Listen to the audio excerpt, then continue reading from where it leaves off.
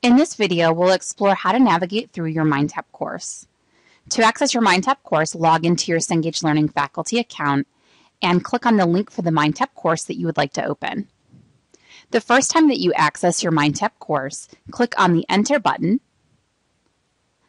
A navigation overlay will appear on the page. You can click anywhere on the screen to hide this overlay, and you can retrieve the overlay at any time by clicking on the question mark icon in the top right-hand corner. You have three different views available within MindTap. The default view is a weekly view.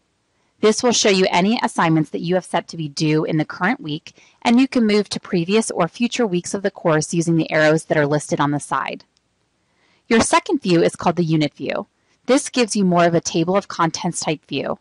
This opens what we call the MindTap Learning Path, and this is where you can access and modify all of the content that's available within your MindTap course. All of the MindTap content is organized into parts. You can click into a specific part to access the content that's included. This will include specific chapters, and you can open up a chapter's content simply by clicking on it, and then you can access the activities that are available within that particular chapter. Your third view is called the Date Manager. This gives you a list view of all of your MindTap content, and this is the best way to set due dates on your MindTap content. Notice that you can set available dates and due dates for your items. To set an available date or due date, simply click on the calendar icon for the appropriate activity, select the given due date for the chapter, you can select a specific time, and click Done. You can set the same available and or due date for multiple assignments simply by selecting the check marks next to the relevant assignments. And from the area in blue, click on the calendar icons to select a due date or available date for these activities.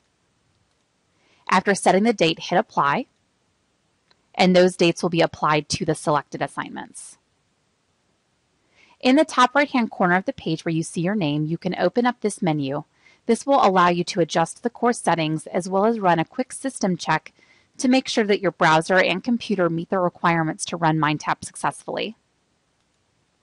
Running down the right-hand side of the page is what we call the App Dock. This is where you can access the various tools that you can use to customize your MindTap course.